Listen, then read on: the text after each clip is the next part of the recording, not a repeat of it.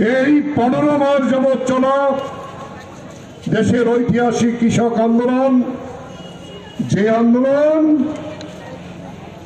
নরেন্দ্র মোদীর সরকার, তার যে দাম্ভিকতা, তার যে কৃষকদের প্রতি অবজ্ঞা, তার বিরুদ্ধে এই লড়াই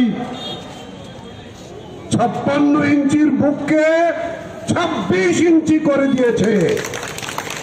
গোটা দেশের কাছে নয় শুধু গোটা পৃথিবীতে এই আন্দোলন একটি তারা বেঁধেছে।